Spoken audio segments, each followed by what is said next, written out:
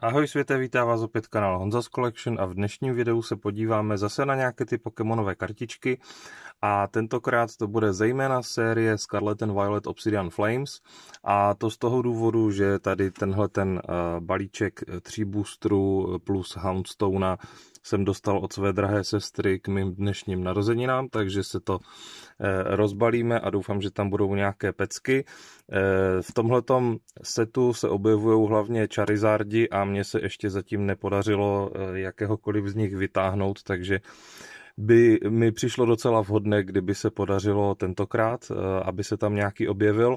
Proto jsem se rozhodl to ještě posílit si ty šance tady dalšíma čtyřma boostrama, které si rozbalíme taktéž.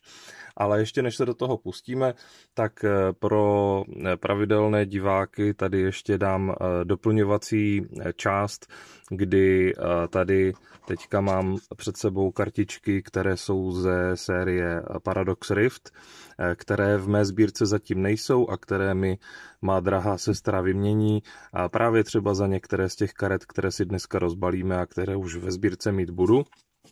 A k tomu ještě tady jsou kartičky od eh, jejího přítele, který eh, se mnou už vyměnil a které tak eh, doplňují mou sbírku. A je to všechno set Lost Origin, který víte, že už mám skoro dozbíraný. A jsou tady jako velmi zajímavé karty, které se mi tam velmi hodí, ať už je to tady Reverse Holo Gumi, nebo je to tady tahle ta vzácná karta Spiritomba, nebo je to tenhle ten parádní Radiant Steelix, který je vlastně celý úplně zářící, anebo z čehož mám největší radost, Včkový Aerodactyl. Toho jsem dlouho chtěl, takže to je super. Tím pádem tohle mi rozšiřuje sbírku a dávám to stranou a zároveň se pustíme do toho rozbalování těch nových věcí.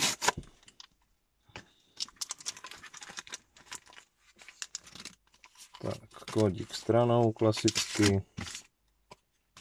Tady tahle ta eh, karta Houndstone tak je promokarta. Je tady zase vidět, že je to takové lesklejší tady na pozadí a eh, zároveň ještě tady ty okraje. Eh, takže ta není úplně součástí, řekněme, toho klasického setu tím, že je to promo, ale samozřejmě hodí se do té sbírky. No a pojďme se na to podívat, co tady dneska vytáhneme jestli se mi to podaří rozdělat.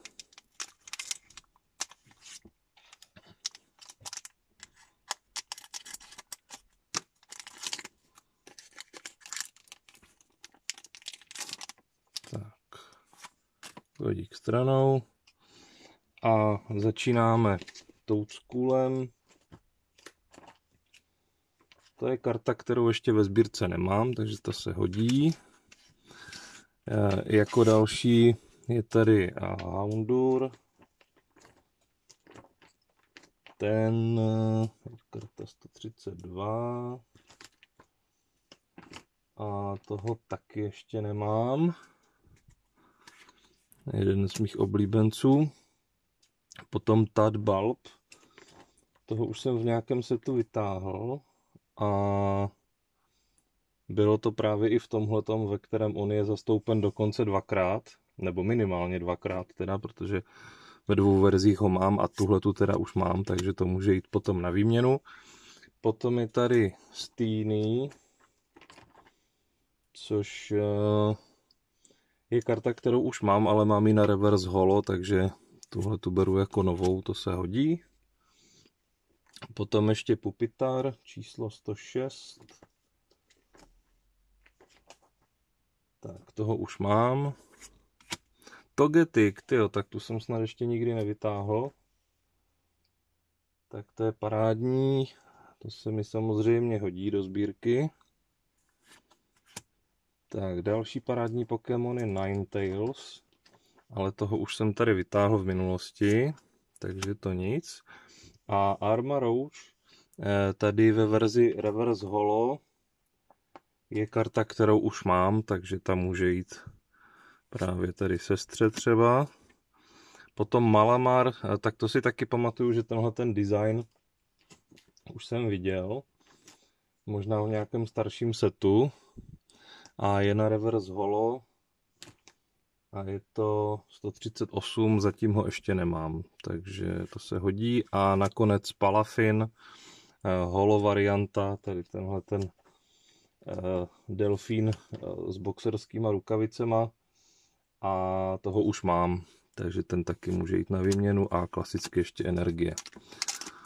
No, takže první booster nebyl zatím nějaká velká hitparáda, pár nových karet tam je, ale žádné vyložené pecky zatím. Tak pokračujeme s Pidgeym. Pidgeyho si myslím, že ještě nemám. To číslo 162. A nemám ho. Tak, jako další je tady Smoliv. A toho už jsem párkrát vytáhl. Hmm. Ale ještě ne v téhle verzi. Takže i ten je nový. Potom je tady kombí. Tenhle ten včelí úl je taky novinka ve sbírce, to je fajn. Varuma si myslím, že už jsme vytáhli tady s Davidem v minulosti. 154. Hm. Jo, vytáhli jsme ho, ale z nějakého důvodu ho ve sbírce nemám, tak možná to byl nějaký jiný set než tenhle ten. Ale ta grafika opět mi přijde, že je stejná. A Sharpeedou, tak toho už mám na verzi Reverse Holo a na té normální taky, takže ten taky může jít na výměnu. Je Espeon, tyjo, tak toho ještě asi nemám. Ne, tak to je moc hezká karta. Flow Cell. A ten si myslím, že na téhle variantě taky ještě tady nebude. Ne, je to nová karta a je to teda povedenější grafika než ta, kterou jsme tady vytáhli opakovaně už dříve. A Scyther, tak to je taky super, to je jeden z mých oblíbenců velkých a to je moc hezká karta na reverse holo tak ten se mi líbí hodně. Smoliv ještě jednou na reverse holo. A nakonec a Tandaros. Tenhle ten elektrický Pokémon je něco, co už jsem tady vytáhl v minulosti, takže i ten půjde na výměnu. A ještě energie nakonec. No, takže druhý booster byl tak nějak podobně neúspěšný jako ten první. Ale čekáme na něco super. Tak a tady s třetím začínáme s Kapsakidem. Toho už jsem tady vytáhl opakovaně, ale zatím ještě ne v téhleté verzi, takže to je opět nová karta. Town Store, uh, stadionová karta. To si myslím, že tady taky ještě nebylo. Hmm, ne, to ještě nemám. Jo, tak tady tohle vůbec neznám. Pokémon číslo 615, který se jmenuje Cryogonal. Tak, toho vůbec neznám a vůbec ho nemám ještě. Tak, Togepi, tak to se výborně hodí tady k Togetikovi. A taky ještě nemám. Paldeánská verze Cloudsyra, ta se mi taky hodí, protože mám jeho předchozí vývojovou fázi Vupra. Grand Bull, tak to jsem si stoprocentně jistý, že toho ještě nemám. A myslím si, že ho ještě nemám na vůbec žádné kartě, že tohle je první, eh, co se mi tady podařilo vytáhnout. Vypadá moc hezky. Tak, Malamar ještě jednou, tentokrát na té eh, standardní base kartě. A je to teda číslo 138 a nemám ho zatím.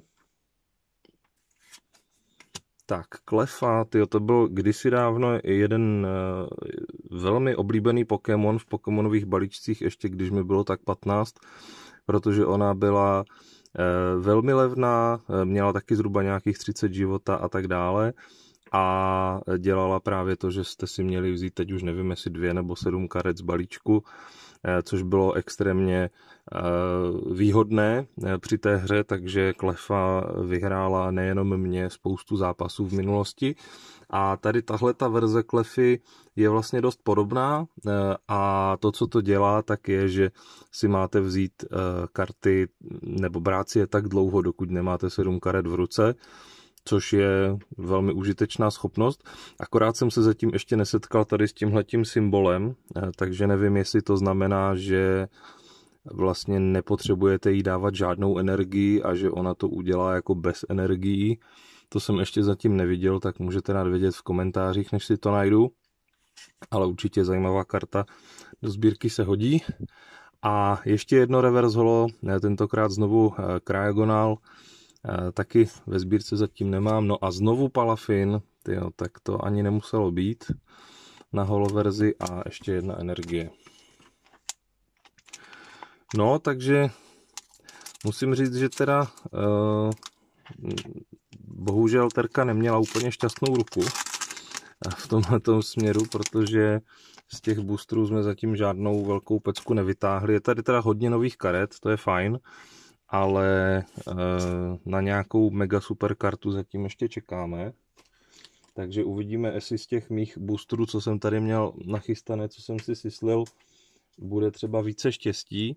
A začínáme s Kapčuem, kterého si taky pamatuju, že už jsem tady viděl na téhle grafice, ale Eh, v albu ho zatím ještě nemám, takže asi zase bude v nějakém jiném setu. Takže je to tedy nová karta. Potom je tady Spoink. Uh, toho už mám. Dynamo, tak toho už mám taky. Uh, Surskita, myslím, že už taky mám, jo. A Diggers By, uh, taky už jsem tady o něm mluvil, že je to Pokémon, kterého jsem si v jedné z těch her trénoval, dlouho jsem si ho piplal a zjistil jsem nakonec, že vůbec není tak silný, jak jsem doufal. A tady je ve verzi bojového Pokémona, on běžně bývá spíš jako ta normální verze a každopádně v mé sbírce zatím ještě není, takže to je fajn. Další verze Camerapta, tak za něho jsem vždycky rád a zatím ho ve sbírce nemám a vypadá teda hodně hustě. Takže to se mi velmi líbí. Tak, ještě jedna paldeánská verze Cloudsaira, tu už teda mám. Surskit tentokrát na reverse holo, tak eh, to si myslím, že v téhle verzi ho ještě nemám. A mám pravdu. Tak, Graveyard, eh, taky ještě ve verzi reverse holo, eh, taky ho ještě nemám. A nakonec Darkrai, holokarta, a to je zase kousek, který už v mé sbírce se nachází, stejně jako bojová energie. Takže ani tady to zatím není žádná velká paráda. Jsem docela překvapený jednak tím, že tady nejsou zatím žádné hity a zároveň, že i řada těch hitů, které eh, z těch menších, které se mi tady objevily, tak to jsou karty, které už mám a to i navzdory tomu, že těch karet z Obsidian Flames obecně zatím ještě tolik nemám. Tak Darumaka, to je karta, kterou už mám ve sbírce, zatímco Frouky, eh, ten je nový a ten se mi hodí, protože já mám jeho další vývojovou fázi Frogadíra, mimochodem moc rostomilá. Potom je tady Bounce Sweet, eh, tu už jsem vytáhl v minulosti, Vulpixe jsem taky vytáhl, Granbula před chvilkou, Malamara taky před chvilkou. Grampiga, tak toho zatím ještě vůbec neznám, to jsem ani nevěděl, že Spoing se vyvíjí v něco takového. A eh, je to teda dost upgrade oproti teda té původní vývojové fázi, eh, takže nová karta do sbírky to se hodí. Potom je tady trenerská karta Ortega eh, na reverse holo. Tu si myslím, že zatím ještě nemám. A ne, ještě to tu nevidím, tak to je fajn. Další potom na reverse hole je Hitmore. Eh, toho si myslím, že možná už vytáhl David, jestli se nepletu. A já si myslím, že ho ještě nemám. 39. Nemám ho, no, takže ten je fajn. No konečně, konečně nějaká pecka. Tyjo, tak to je super karta. To je jedna z těch, které jsou tady na obalu, že jo? Tady, tady ho máme. Dragonite ve verzi X. Tenhle ten křišťálový, no tak to vypadá hodně dobře. Uh, není to teda Secret Rare, protože je to číslo 159 ze 197, takže není to úplně ta nejvíc nejvzácnější, co bychom tady mohli vytáhnout, ale rozhodně je to karta zatím nejlepší z které mám fakt radost, protože z těch křišťálových jako typů se mi ještě nepodařilo vytáhnout snad nikoho, tak konečně někoho mám do sbírky a zároveň ještě takhle oblíbeného Pokémona jako je Dragonite. Tady si dokážu i představit, že by to do budoucna mohlo růst na ceně, protože eh, je to velmi oblíbený Pokémon a myslím si, že ta poptávka po něm jako poměrně bude. Takže konečně něco. Tak to je výborné. A nakonec ještě jedna energie. Tak, blížíme se ke konci. Poslední dva boostry.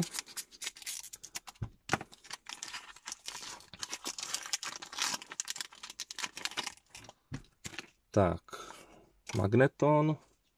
Ten tady myslím, že ještě není. Je to tak. Tak to je nový kousek do sbírky. Uh, time pole, nebo Timpole, nebo nevím, jak se to čte správně. Eh, toho zatím ještě nemám. Heatmore ještě jednou, ale tentokrát na standardní base verzi to se hodí. Lilipup, tyjo, tak toho vůbec neznám, to jsem ještě nikdy neviděl. Pokémon číslo 506 a mají ho tady napsaný jako štěněčí Pokémon. Eh, tak toho vidím poprvé teda.